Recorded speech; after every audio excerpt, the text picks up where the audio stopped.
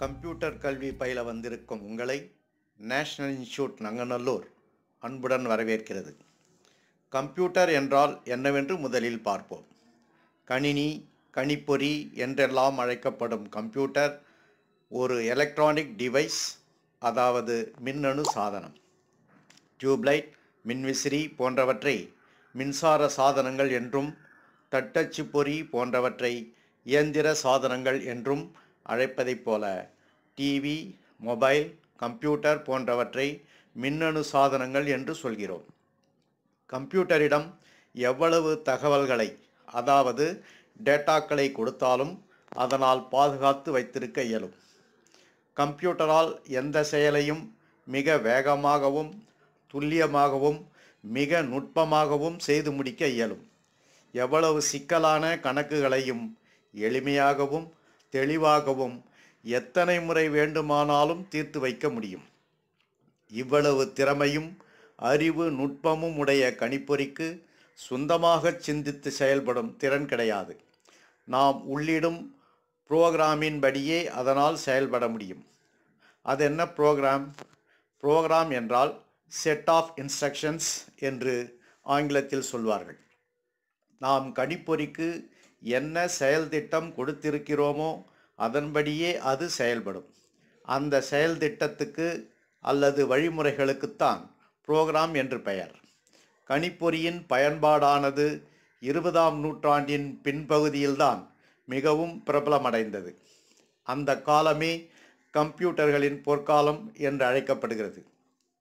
Abacus punching card machine differential engine computing machine என்று பல பரிணாமங்களில் வளர்ந்த கம்ப்யூட்டரை கண்டுபிடிப்பதற்கான முதல் முயற்சியில் ஆயிரத்தி எண்ணூற்றி ஒன்றாம் ஆண்டில் ஈடுபட்டவர் ஜோசப் ஜாக்வாட் என்பவர். அதற்கடுத்து கம்ப்யூட்டர் கண்டுபிடிப்பில் பெரும் பங்காற்றியவர் ஆயிரத்தி எண்ணூற்றி முப்பத்தி மூன்றாம் ஆண்டில் சார்ல்ஸ் பேபேஜ் என்பவர். அவர் கம்ப்யூட்டர்களின் தந்தை என்றே அழைக்கப்பட்டார்.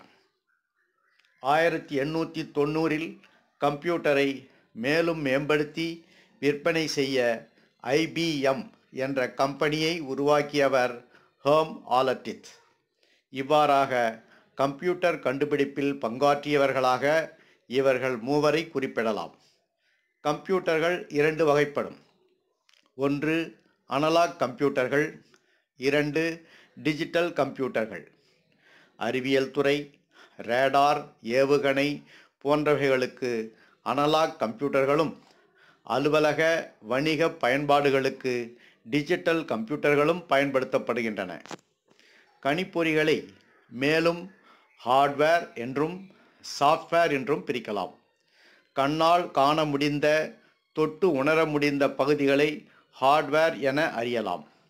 ஒன்று இன்புட் டிவைசஸ் ரெண்டு அவுட்புட் டிவைசஸ் மூன்று சென்ட்ரல் ப்ராசஸிங் யூனிட் நான்கு பேக்கப் ஸ்டோரேஜ் ஆகியவை உள்ளடங்கியதே ஹார்ட்வேர் ஆகும்.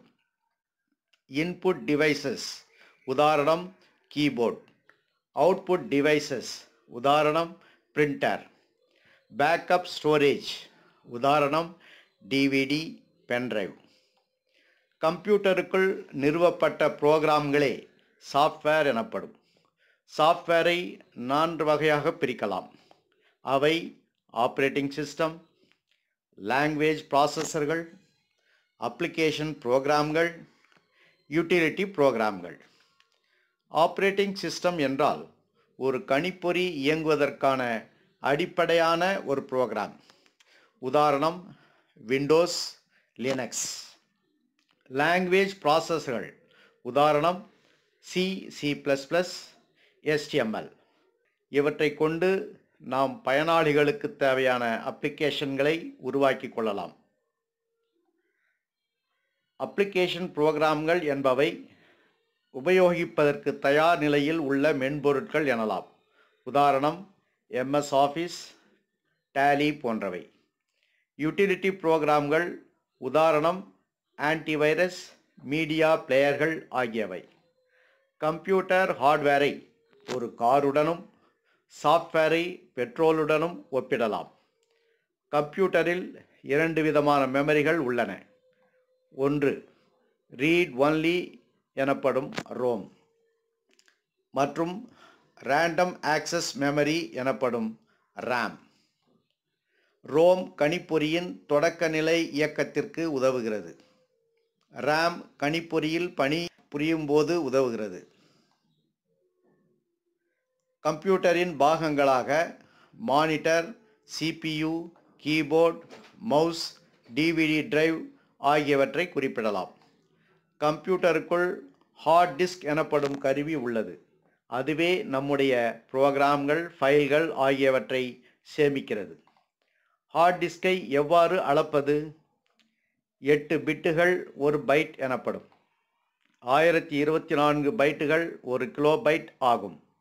ஆயிரத்தி இருபத்தி நாலு கிலோ பைட்டுகள் ஒரு மெகா பைட் ஆயிரத்தி இருபத்தி நாலு மெகா பைட்டுகள் ஒரு ஜிகா பைட் ஆயிரத்தி இருபத்தி நாலு ஜிகா பைட்டுகள் ஒரு டெராபைட்.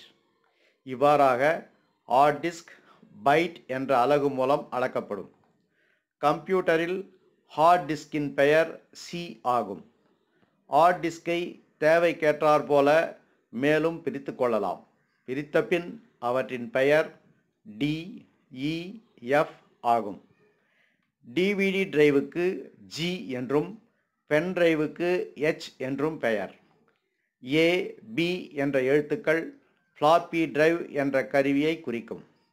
இப்போது ஃப்ளாப்பி டிரைவ் உபயோகத்தில் இல்லை. இதுவரை கம்ப்யூட்டரை பற்றிய சுருக்கமான வரலாற்றை தெரிந்து கொண்டோம். மீண்டும் சந்திப்போம். நன்றி வணக்கம்.